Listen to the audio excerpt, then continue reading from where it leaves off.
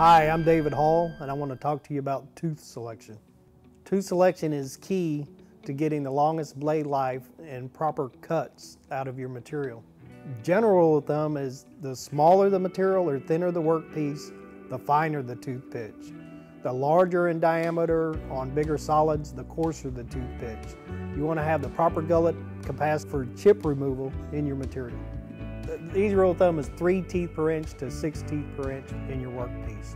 Most people that are cutting general purpose materials would use our 5-7 tooth interrupted cut band.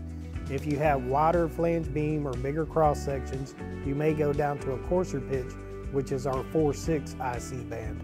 Thank you for listening to this segment on our tooth selection. If you need any further information on tooth selection, please give us a call.